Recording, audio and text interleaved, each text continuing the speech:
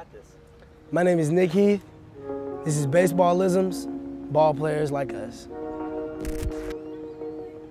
If I had to give advice to a younger baseball player who wanted to play professional baseball, it would be do not ever doubt yourself or your ability.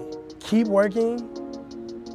You may want to go out and do something, but, but give up 30 minutes a day, give up an hour a day of hanging out, playing video games, or doing whatever else it is you want to do, and just go master your craft. Go be great at what it is you want to be great at. And the only person stopping you from being an amazing baseball player is yourself. Go get what you want. Nobody can take that from you.